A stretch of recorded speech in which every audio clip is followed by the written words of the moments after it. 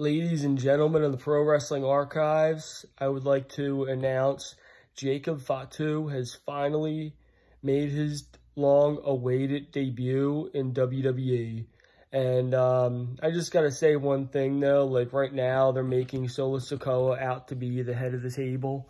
And um, to be the one that'll be facing Cody Rhodes for the belt. But now that Jacob Fatu is in the, uh, the bloodline, Solo Sikoa's version, I could literally see Jacob Fatu easily overshining Solo Sikoa and getting in line for a title shot against Cody Rhodes because I, I know Jacob Fatu well. I've driven him to and from the airport and from the 2300 arena for MLW and I've seen that guy wrestle and I'm proud of him.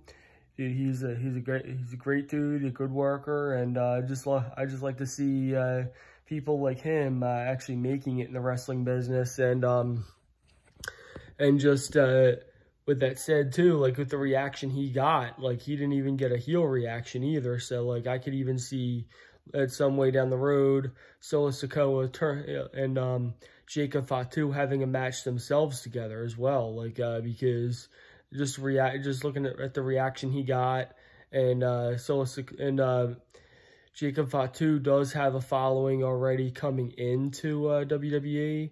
So like when he came out on uh, on SmackDown, I know I, I, noticed a lot of fans were were cheering for him instead and when he's supposed to be a heel. So like uh, I could see, but then again, he Jacob Fatu can be a good heel too. I've seen him be be heel in uh, MLW, but I'm just saying like when he came out, like he got a more of a face's reaction because uh, of him, because of who he is, and then making his appearance there in uh, in WWE.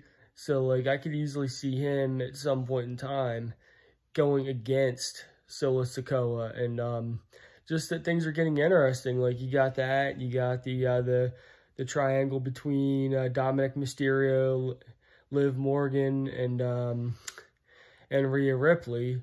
So like that, I could see that being something maybe to, to bring uh, Dominic face because you never know. Like I could see Dominic Mysterio leaving the Judgment Day and just uh, going off and trying his route as a singles uh, competitor with uh, Liv Morgan uh, managing him. And uh, anyways, uh, that's one thing I like about wrestling these days. It's unpredictable, like bringing the unpredictability back into it and just get the whole thing with Cody Rhodes and Randy Orton and Kevin Owens, them teaming up again. But I kind of feel like it would be best if they uh, end up uh, turning turning Cody Rhodes heel and seeing how that goes.